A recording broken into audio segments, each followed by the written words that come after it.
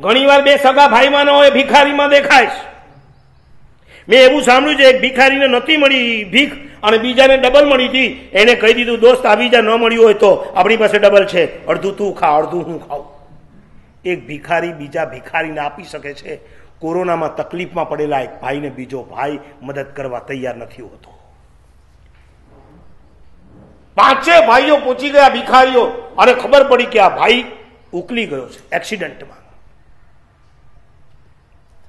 પાંચેની આંખમાં આંસુ આવી ગયા. વર્ષો સુધી જેણે આપણને જમાડ્યા. આજે એ ચાલ્યો ગયો. એની યાદમાં આપણે શું કરીએ? કોકે તમારા પર એહસાન કર્યો છે, તમારે શું કરવું જોઈએ? મને પૂછવા ના આવવાનું હોય, તમારે તમારી બુદ્ધિ ચલાવવાની હોય, શું કરી શકાય? દેવનો ઉપકાર ખરો કે નહીં? ગુરુનો ઉપકાર ખરો કે નહીં? ચાર મહિના જે મહાત્મા ચોમાસાની અંદર રોજ પ્રવચન સંભળાવે અને એ મહાત્મા વિચાર કરે, મારે ગુરુની પાછળ શું કરવું જોઈએ? એ મારે શીખવાડવું જોઈએ કે તમારે પોતે શોધી લેવું? પાંચ ભિખારીનું યુનિયન બની ગયું અને બંને પાંચે નક્કી કર્યું. આપણે ખિસ્સામાંથી રૂપિયા કાઢવા અને એની યાદમાં રોજ એક ભિખારીને જમાડવા. અત્યાર સુધી કોણ જમાડતું હતું? શેઠ જમાડતો હતો. પાંચ ભિખારીને. એની યાદમાં પાંચ ભિખારીએ નક્કી કર્યું કે આપણે ભેગા મળી વીસ વીસ રૂપિયા કાઢવાના, સો રૂપિયાની ડીશ થાય. આપણે પાંચ જણાએ વીસ વીસ રૂપિયા કાઢી એક ભિખારીને જમાડવા. અને પાંચમા દિવસે હોટલમાં ગયા અને એક ડીશનો ઓર્ડર આપ્યો. હોટલનો માલિક કે ભાઈ તમે? હા. ઓલા ભાઈ તો ગુજરી ગયા. એની સ્મૃતિમાં મેં નક્કી કર્યું છે કે અમારે એક ભિખારીને જમાડવાનો. શું વાત કરો છો? તમારા પોતાના ખાવાના ઠીકણા નથી ને તમે આ ભીખ માગીને આવેલા વીસ રૂપિયા, અમે પાંચે જણા સો રૂપિયા ભેગા કરી એક ડીશ તમારી પાસેથી લેશું અને એક અજાણ્યા ભિખારીને અમે જમાડશું. શરૂઆત કરી. રોજ ભિખારીઓ ત્યાં આવે, સો આપે, ડીશ લે અને જમાડે. એક દિવસ, બે દિવસ, યાદ રાખજો, હંમેશા ચેપ લગાડવો હોય તો સારા કામનો ચેપ લગાડો, ખોટા કામનો મત લગાડો.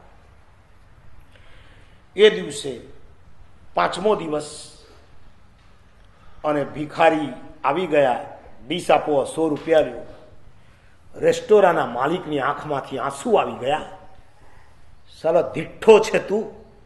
જેને ખુદના ખાવાના ઠેકાણા નથી, એ બીજાને જમાડે અને તું આટલું ના કરી શકે, એણે પાંચેને કીધું, તમારે તમારું ચાલુ રાખવું એ તમે જાણો, પણ તમારા પાંચેયના આવતીકાલથી રસોઈ, આવતીકાલથી તમારી પાંચેની પ્લેટ મારા તરફથી ફ્રી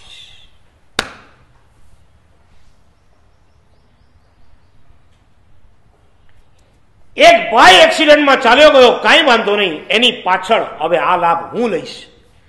એટલે ભાઈઓએ કહી દીધું, અમારો લાભ ભલે તું લે, પણ અમે પાંચ પેલા ભાઈની યાદમાં રોજ એક ભિખારીને તો જમાડશું જમાડશું ને જમાડશું. આ છે પોઝિટિવ માઇન્ડ ચાહે સ્વાધ્યાય, ચાહે તપશ્ચર્યા, ચાહે સેવા ચાહે કોઈ પણ એક યોગ અનુષ્ઠાનને એવો આત્મસાત કરી લ્યો કે જે તમે જિંદગી સુધી કરો અને તમારા ગયા પછી કોઈ પૂછે તો કહી શકે કે ભાઈ આમના જેવી ભક્તિ કોઈની નહીં. આમના જેવો જાપ કોઈનો નહીં. આમના જેવો સ્વાધ્યાય કોઈનો નહીં.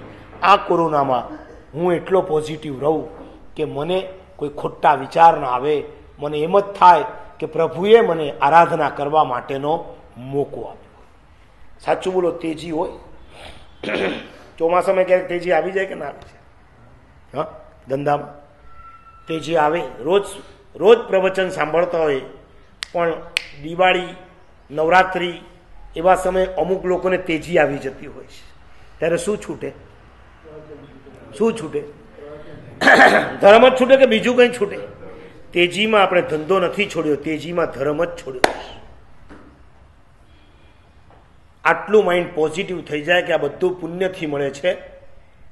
આજે કદાચ હું ધંધો કરવા માટે ધર્મને છોડું છું.